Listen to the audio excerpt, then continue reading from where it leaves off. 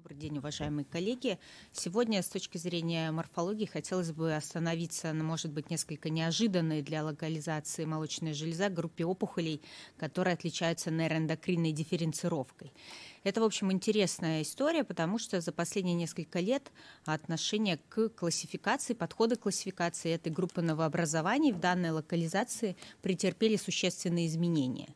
Так, если мы с вами обратимся к предыдущей версии э, классификации Всемирной организации здравоохранения, которая была опубликована в 2012 году, то в разделе «Эпителиальные опухоли» в группе «Инвазивный рак молочной железы» э, в подгруппе редких опухолей мы можем с вами обнаружить, могли обнаружить карциному с нейроэндокринными чертами, которая в себя включала на тот момент это высокодифференцированные нейроэндокринные опухоли или НЭТ, нейроэндокринные карциномы, которые были в классификации представлены исключительно мелкоклеточным раком, а также какая-то карцинома с нейроэндокринной дифференцировкой. А, вообще, в принципе, до 30% карцином молочной железы так или иначе демонстрируют нейроэндокринную дифференцировку или нейроэндокринные черты, в первую очередь в плане экспрессии соответствующих иммуногистохимических маркеров. Однако уже в 2012 году в классификации было отмечено, что истинная частота встречаемости новообразований с э, такой дифференцировкой неизвестна, потому что мы не тестируем рутинно на нейроэндокринные маркеры все карциномы молочной железы, которые имеют какие-то признаки, а, которые могут быть сопоставимы с нейроэндокринными опухолями. Что же происходит в действующей классификации, по которой мы уже несколько лет работаем? то в группе эпителиальных опухолей есть группа нейроэндокринных неоплазий, где мы уже сталкиваемся с двумя подгруппами. Это группа высоко дифференцированных нейроэндокринных опухолей, которые представлены двумя грейдами, грейд 1 и грейд 2, а также группа нейроэндокринных карцином, которые в действующей классификации представлены как мелкоклеточным подтипом, так и крупноклеточным подтипом. И такая классификация отражает общие тенденции, которые имеются в отношении опухолей с нейроэндокринным а, э, с нейроэндокринными чертами или нейроэндокринным генезом, и усилия Всемирной организации здравоохранения направлены на то, чтобы унифицировать подходы к а, классификации этих новообразований вне зависимости от их локализации, потому что они имеют множество общих черт, и молочная железа, как видите, не стала исключением. Поэтому, если мы будем говорить в рамках а, общей классификации опухолей такого генеза, то они могут быть разделены на неэпителиальные, которые в молочной железе встречаются ну, с казуистической редкостью, потому что к неэпителиальным относятся параганглиомы, феохромоцитомы и медулярный рак щитовидной железы. Но, тем не менее, параганглиомы теоретически могут быть обнаружены в разных локализациях. Гораздо чаще мы имеем дело с эпителиальными новообразованиями, а, которые, собственно, подразделяются на высокодифференцированные или НЭТ, нейроэндокринные опухоли, тьюмор, и низкодифференцированные или нейроэндокринные карциномы. Если мы возьмем, опять же, эту рамочную схему, то она а, так сказать, э, э, руководствуясь ей, мы должны большинство нейроэндокринных новообразований, по крайней мере, высоко дифференцированных, дальнейшее э, субградировать по трехступенчатой системе. Эта система э, начала свое движение от поджелудочной железы, захватила весь желудочно-кишечный тракт. На сегодняшний день, вы видите, она уже вышла в гинекологическую локализацию, но все еще есть э, ряд локализаций, которые удерживают э, позиции в плане э, двухступенчатого Э, градирования высокодифференцированных нейроэндокринных новообразований или опухолей. И каноническим примером является легкая. Вы видите, а, молочная железа также не стала исключением. Здесь мы имеем дело только с двухступенчатой системой градации. Возможно, это связано а, с редкостью относительно таких новообразований в молочной железе, с тем, что мы имели довольно размытые критерии классификационные в предыдущей классификации. И сейчас, возможно, по мере накопления данных мы можем столкнуться и с нейроэндокринными опухолями, которые занимают промежуточные положения, имеют промежуточные характеристики между высокодифференцированными и низкодифференцированными или карциномами, как это произошло в желудочно-кишечном тракте. Но если говорить о гистогенезе этих э, опухолей, то а, на сегодняшний день вообще для нейроэндокринных новообразований предполагается два варианта развития. С одной стороны, э, довольно традиционная концепция о том, что нейроэндокринные опухоли развиваются из клеток диффузной а, нейроэндокринной системы или путь системы и имеют э, нейроэктодермальное происхождение, являются мигрантами из нервного гребня, то на сегодняшний день, если мы возьмем э, самую частую локализацию, это нейроэндокринная опухоль желудочно-кишечного тракта, доминирующей является концепция эпителиального происхождения этих новообразований. То есть это на ранних этапах дифференцировки на уровне стволовых клеток происходит э, выбор направления в плане нейроэндокринной дифференцировки, но изначально базово это э, эпителиальные клетки, клетки эпителиального происхождения. Если мы будем говорить про э, желудочно-кишечный тракт, про кишку, то это энтодермальное происхождение. Видите, опухоли э, локали... других локализаций за пределами кишечной трубки также имеют различный гистогенез. На самом деле, на сегодняшний день молочная железа, конечно, такой яркий пример именно эпителиального происхождения нейроэндокринных опухолей, потому что, с одной стороны, они имеют э, неопухолевый предшественник, сходный с эстроген-позитивными карциномами молочной железы. Они могут иметь э, прекурсоры неинвазивные вблизи э, инвазивной опухоли. То есть мы можем проследить вот эту вот динамику из э, эпителиального компонента внутрипротокового и развития инвазивной опухоли. И, соответственно, сохранение соответствующих черт, в первую очередь, фенотипа и рецептор позитивного фенотипа. Что касается морфологической презентации, то это, в общем, история, которая действительно здорово роднит нейроэндокринные новообразования различной локализации. Видите, вот, собственно, пример а, как раз-таки молочной железы. Это альвеолярно-гнездное строение с формированием розеткоподобных структур зачастую. А, возможно, инсулярный паттерн, а, более выраженные э, такие трабекулярные структуры, с которыми мы нередко сталкиваемся в желудочно-кишечном тракте, в молочной железе могут встречаться, но это не очень характерная история. Как правило, это все-таки опухоли, которые не имеют такой выраженной лентовидной или лабиринтной архитектуры, как правило, солидного строения. И еще реже мы встречаемся с имитаторами э, псевдогландулярных структур или каких-то других железистых структур, которые нередко также в желудочно-кишечном тракте обнаруживаются. Если говорить о низкодифференцированных нейроэндокринных опухолях или нейроэндокринных карциномах, то это редкие новообразования.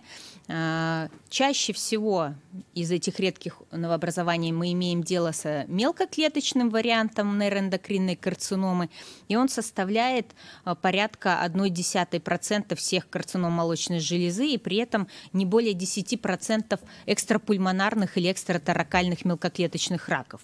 Потому что, конечно, самым частым мелкоклеточным раком а, является мелкоклеточный рак легкого.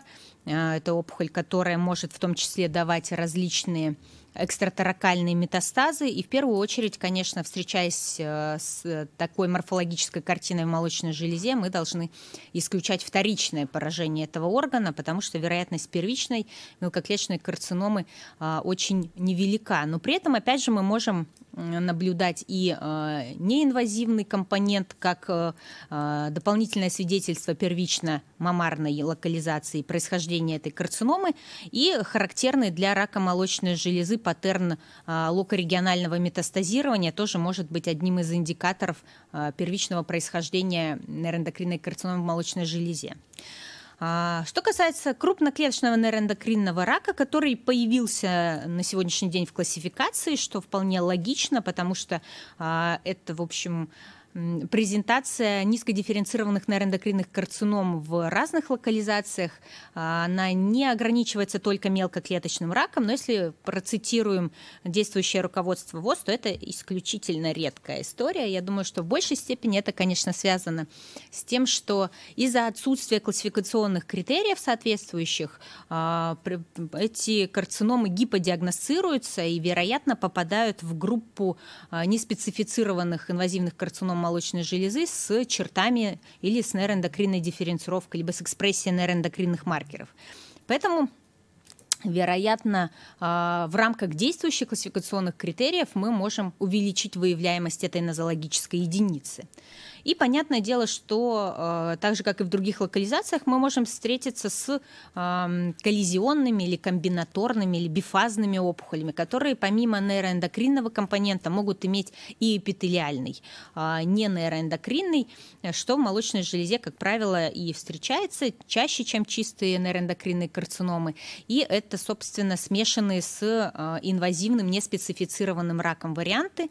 Но здесь, если мы с вами обратимся к классификационным критериям, то они сайт-специфичные, такие же, как и для других смешанных карцином именно молочной железы. То есть если у нас имеется нейроэндокринная карцинома, составляющая от 10 до 90% опухоли, тогда мы можем говорить о смешанной опухоли. Если меньше 10% нейроэндокринной карциномы, то тогда мы э, классифицируем по преобладающему компоненту, это новообразование, указание наличия нейроэндокринного компонента, если следовать э, букве классификации опционально, но, конечно, так как это, как правило, более высокоагрессивный, вообще, в принципе, высокоагрессивный компонент, даже его минорные количества имеет смысл в репорте отражать. Если же опухоль больше, чем на 90% состоит из нейроэндокринной карциномы, она может быть просто классифицирована как нейроэндокринная карцинома, опять же, с опциональным указанием не нейроэндокринного компонента, который входит в ее состав. Это отличается от тех количественных критериев, которые имеются для, скажем, нейроэндокринных, не нейроэндокринных новообразований желудочно-кишечного тракта, где пороговым значением является не менее 30% одного из компонентов. А, что касается дифференциальной диагностики, то наибольшие сложности возникают в плане карцином для высоко дифференцированных нейроэндокринных опухолей есть только одно жесткое условие. Это должна быть диффузная мономорфная экспрессия как минимум одного из нейроэндокринных маркеров. Причем э, мы должны полагаться на те маркеры, которые обладают высокой специфичностью, а не просто высокой чувствительностью. Что же касается карцином, то карциномы, как правило, сохраняют экспрессию цитокератинов, э, что позволяет подтвердить их эпителиальное происхождение, хотя с точки зрения морфологии нам необходимо их дифференцировать с другими э, новообразованиями, которые попадают в группу мелкокруглоклеточных опухолей, это и лимфомы, и круглоклеточные саркомы, и тем не менее мы должны дифференцировать эти новообразования и с э, первичными неспецифицированными карциномами молочной железы.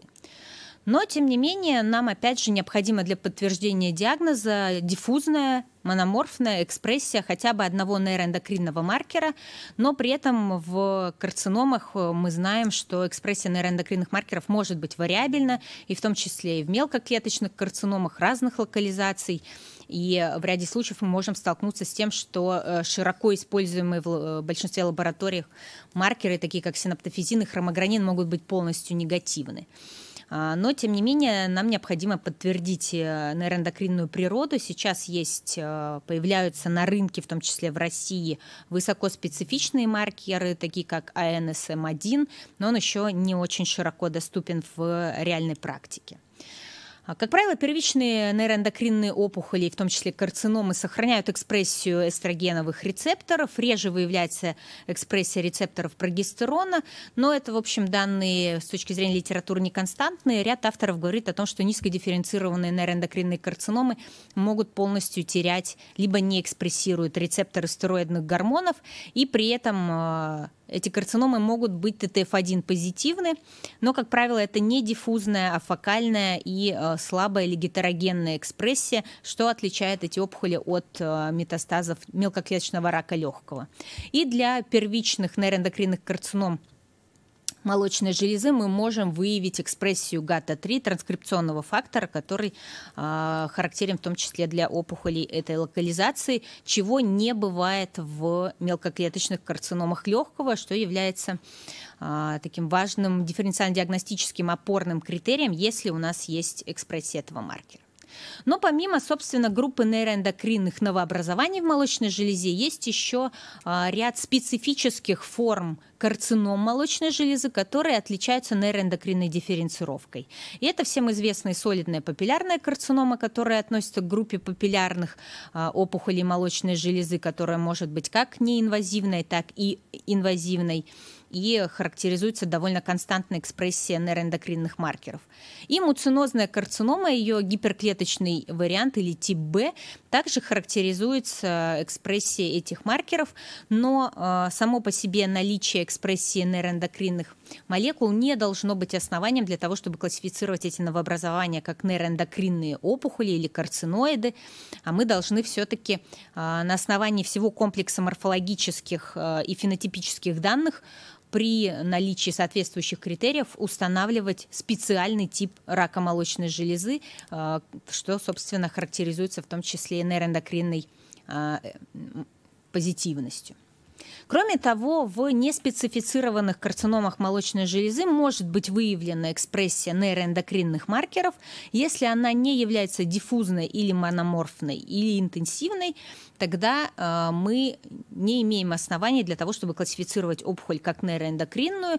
Необходимо просто указать, что это неспецифицированный рак молочной железы с экспрессией нейроэндокринных маркеров, может быть, в какой-то части клеток.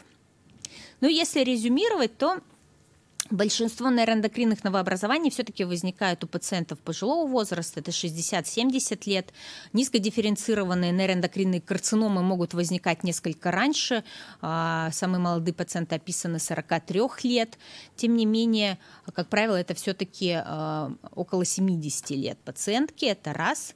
Кроме того, мы должны понимать, что вот эта вот дифференцировка на грейды для рака молочной железы также является сайт-специфичной, и для установки грейда используется натингемская система, такая же, как и для установки грейда карцином молочной железы не специфицированных, а, так как они, собственно, имеют отсутствие гландулярных или тубулярных структур, то, как правило, основным дискриминатором для них являются метозы, так же, как и для нейроэндокринных опухолей других локализаций. Но, тем не менее, в целом система грейдинга является сайт-специфичной, а не универсальной для нейроэндокринных опухолей молочной железы. Кроме того, прежде чем установить диагноз, мы должны на основании всех доступных данных исключить возможное вторичное поражение молочной железы, что может встречаться как и для а, мелкоклеточного рака, так и для высоко дифференцированных нейроэндокринных опухолей, в первую очередь желудочно-кишечного тракта, а, необходимо этот фактор исключать. Для установления диагноза нейроэндокринной опухоли мы должны использовать два опорных момента. Это в первую очередь морфологические признаки нейроэндокринной дифференцировки, как архитектурные, так и цитологические, в первую очередь ядерные черты, и диффузная мономорфная экспрессия нейроэндокринных маркеров. Причем, как правило, в нейроэндокринных опухолях молочной железы мы чаще выявляем экспрессию хромогранина, то время как экспрессия синаптофизина встречается реже, а, в гораздо меньшем числе случаев, поэтому а, в плане выбора маркера для подтверждения нейроэндокринной дифференцировки для этой локализации целесообразно использовать хромогранин А, хотя Опять же, универсальная рекомендация относительно того, что э, целесообразно использовать тот маркер, который лучше всего работает в вашей конкретной лаборатории, она также верна и для этой локализации. Как правило, это опухоли рецептор позитивные, потому что они имеют тот же источник развития, как и рецептор позитивные неспецифицированные инвазивные карциномы молочной железы. Мы можем столкнуться в материале резекции, реже в материале биопсии с компонентом инситу, с неинвазивным, что является одним из признаков того, что мы имеем дело именно с первичной нейроэндокринной опухолью молочной железы, а не со вторичным поражением этого органа. Ну и специфические типы карцином молочной железы, которые которые свойственны экспрессии нейроэндокринных маркеров, не должны диагностироваться как нейроэндокринные опухоли. Что касается влияния нейроэндокринных черт на течение рака молочной железы, то если мы будем говорить о высоко дифференцированных новообразованиях, они, безусловно, считаются злокачественными и на сегодняшний день э, должны вестись как гормон-позитивный рак молочной железы при наличии экспрессии рецепторов гормонов. На сегодняшний день нет данных о том, чтобы э, нейроэндокринная дифференцировка или принадлежность опухоли к нейроэндокринной опухоли как-то влияла существенно на прогноз и течение заболевания. Что же касается низкодифференцированных карцином, в первую очередь мелкоклеточного рака, то здесь, конечно, а, течение заболевания в большей степени определяется природой этого новообразования, и это высокоагрессивная опухоль, которая может иметь трижды негативный фенотип. Спасибо за внимание.